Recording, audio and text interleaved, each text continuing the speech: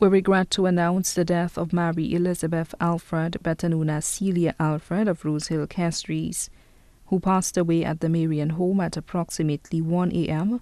on Tuesday, November 10, 2015. She was 96 years old. Left to mourn her death, her sister, Mrs. Odette Schlingford, and family in London.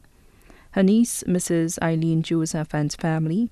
Her nephew, Nigel Pierre Louis, and family, all in London her adopted sister, Mrs. Teresa Philip and husband of Black Bay Vieux Fort, adopted daughter, Miss Lorna LaForce, and family of Rock Hall, adopted niece, Miss Helen McLean, and family of Agad Castries, special friends, Alice, proprietress of Wings of Love, Nurse Epiphan, Miss Gertrude Thomas, Miss King of Sanssouci, sisters, members and staff of the Marian Home, pastor and members of Streams of Power, prayer intercessors at the Streams of Power, other relatives and friends.